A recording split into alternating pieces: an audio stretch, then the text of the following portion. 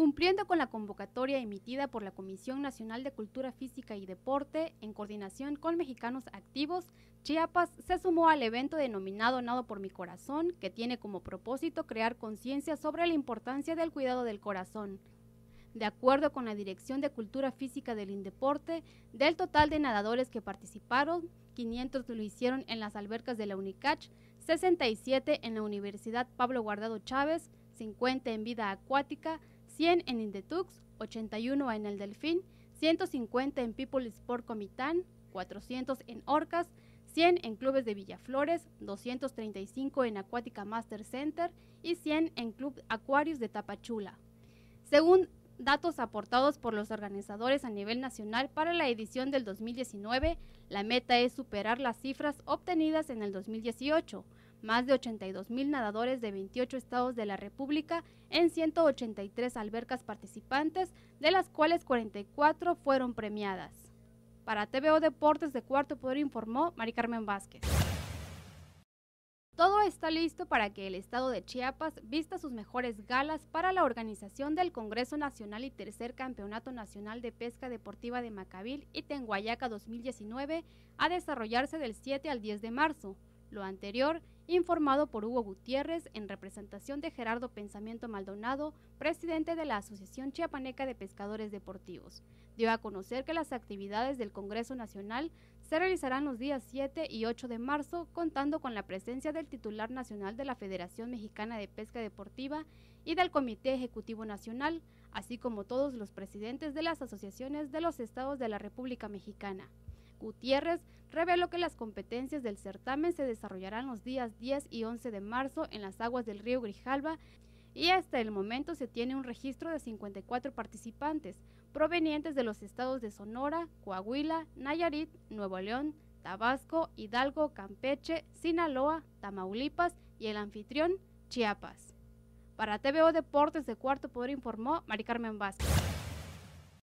La temporada 2019 del Campeonato de Automovilismo Regional Sureste se encuentra a unos días de iniciar su actividad en la capital chiapaneca.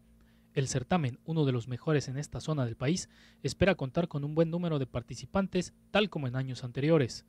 Será el Autódromo Chiapas la sede para las competencias, que contarán con presencia no solo de pilotos chiapanecos, sino también de otras entidades en busca de una mayor apertura para la actividad del automovilismo de velocidad. La primera fecha del campeonato será el próximo 17 de marzo a partir de las 11 de la mañana con la realización de tres carreras. El evento contará con presencia de pilotos de Chiapas y Veracruz. Además, para este 2019, la organización insertará la modalidad de competencia entre carros eléctricos para niños menores de 6 años. Para TVO Deportes de Cuarto Poder informó Freddy Manga.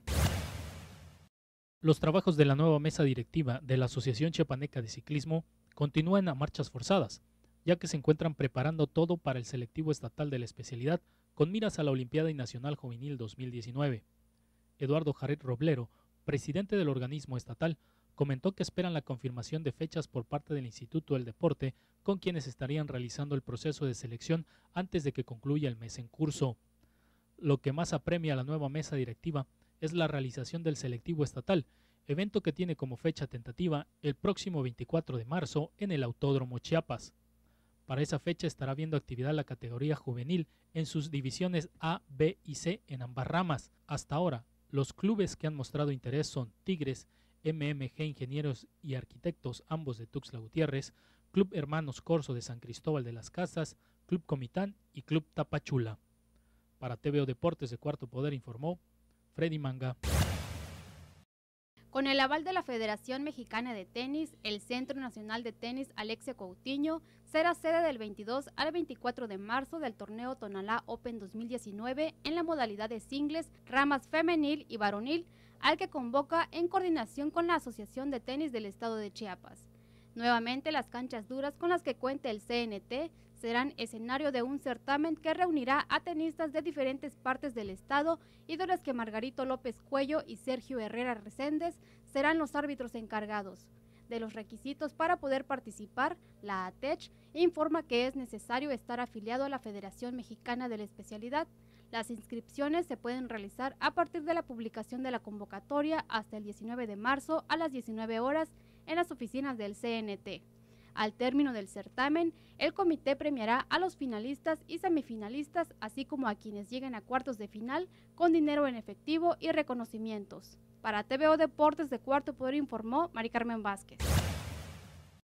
La Asociación Estatal de Taekwondo Panamericano prepara todo para su primera evaluación del año, evento que tendrá como escenario principal el Auditorio Municipal Efraín Castillejos este miércoles 6 de marzo. Lo anterior fue oficializado por el presidente nacional, profesor Edgar Tony Abarca Cabrera, quien se mostró bastante animado por ver cómo van los trabajos de las diversas escuelas pertenecientes a la agrupación durante el primer trimestre de este año.